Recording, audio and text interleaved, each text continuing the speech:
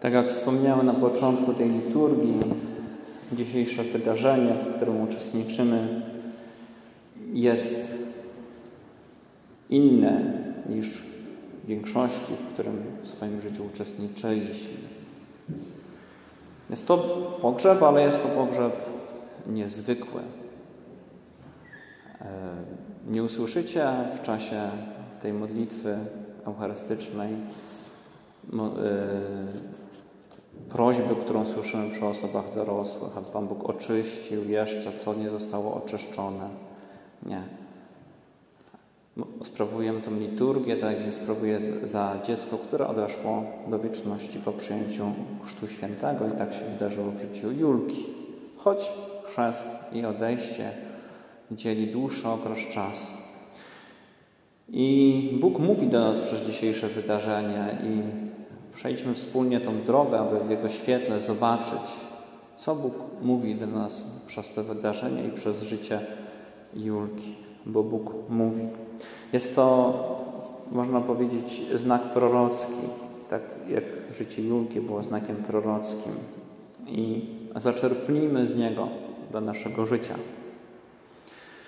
Usłyszeliśmy w księdze proroka Izajasza w pierwszym czytaniu, że nadejdzie dzień, kiedy Pan przygotuje ucztę na górze Syjon i wtedy zetrze, zedrze On zasłonę zapuszczoną na twarz wszystkich i całun, który okrywał wszystkie narody. Całun to jest takie coś, co ukrywa całego człowieka, że nie można go w pełni poznać. I Pan Jezus to zdejmie, aby zobaczyć pełnię.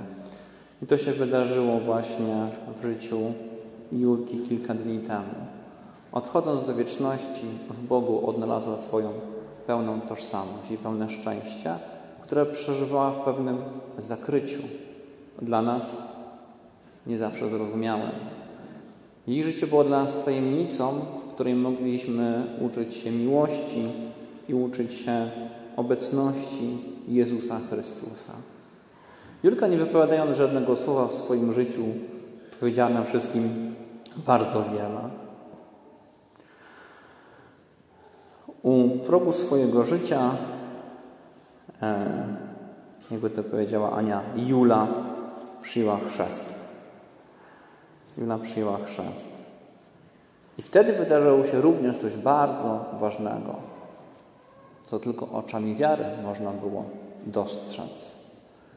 Pan Jezus, Jezus Chrystus z Julką złączył się nierozerwalnie z jej ciałem i duszą. Stała się żywym członkiem Kościoła. Przeżywała swoje życie e, w tej wspólnocie rodzinnej, do której e, właśnie Pan ją wybrał u Ani i u Krzyśka, później z czasem u, swoich, u swojego rodzeństwa i była znakiem obecności Boga. Bo Jezus Chrystus się z nią złączył przez chrzest i nigdy nie odszedł i zawsze został i zawsze był.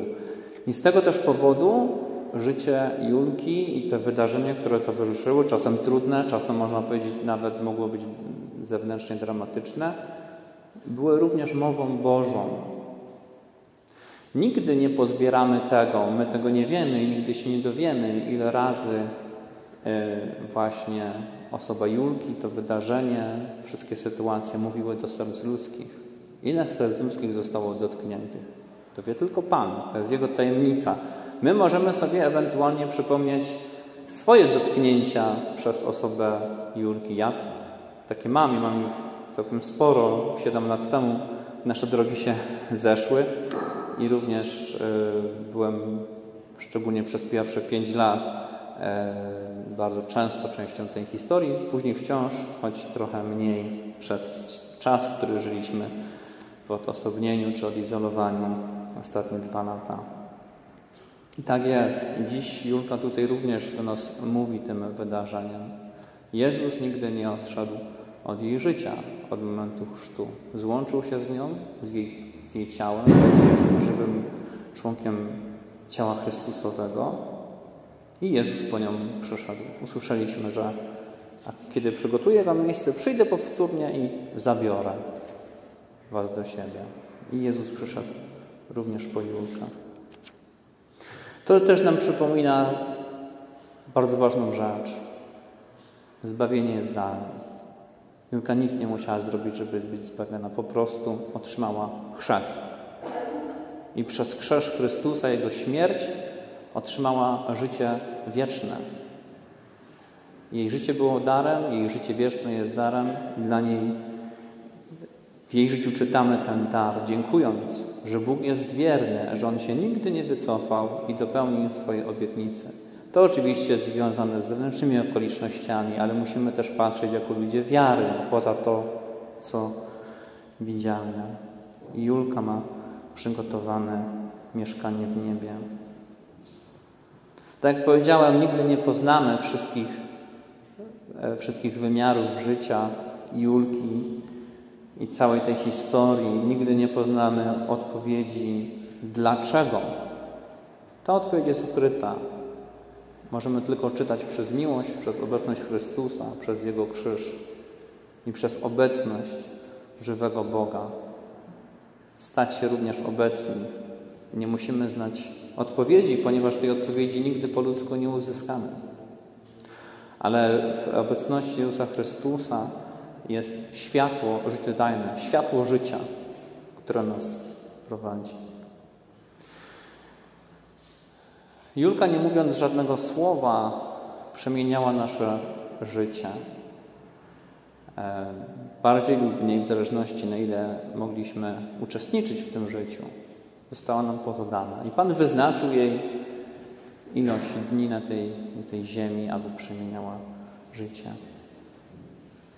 I dziękujemy za ten dar, właśnie za dar życia Julki, za dar tych przemieni, za dar tego, co sprawia, że y, życie każdego, kto został dotknięty tą historią, do niej zaproszony mniej lub bardziej, zostało właśnie przez Pana napełnione jakimś elementem.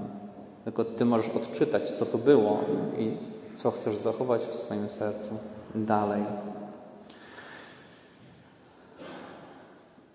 Złożymy życie, składamy życie Julii, Julii w tej Eucharystii.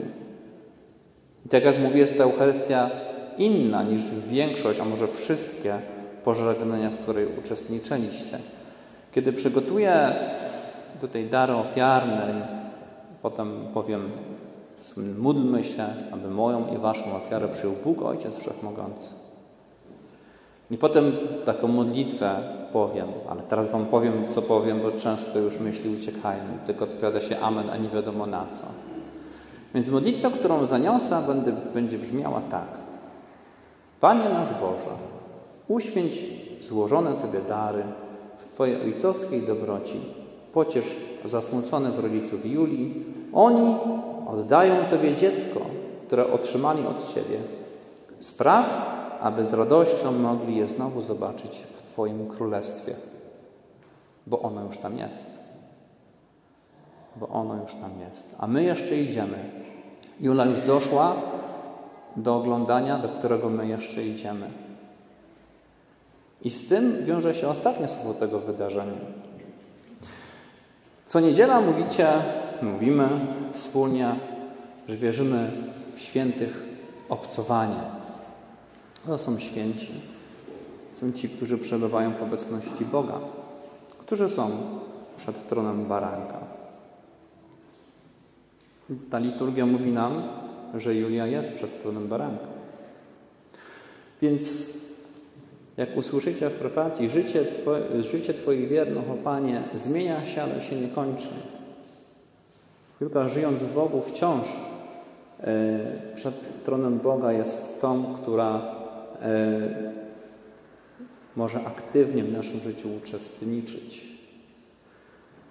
Ja już od no drugi dzień zawsze mam poranną modlitwę, gdzie mam takich swoich prywatnych stawienników niekanonizowanych i już od drugiego dnia, e, właśnie w sensie od poranka, już, już zapowiadam różne sprawy i wiem, że będzie działała.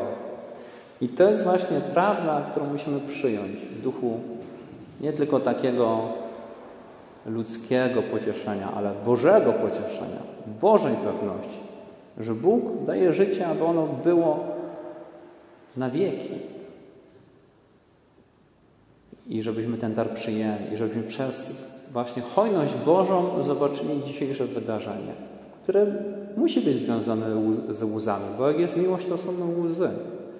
Ale niech to wydarzenie, tą liturgię, to pożegnanie przenika właśnie światło Chrystusa. Nie wiemy, jak Julka słyszała rzeczywistość, ale jeżeli słyszała rzeczywistość, to wiele razy na kręgach domowego kościoła słyszała światło Chrystusa, jak się zaczynał krąg. I właśnie w tym świetle życiodajnym przeszła, aby żyć. Nie tylko, żeby odpoczywać, ale aby żyć.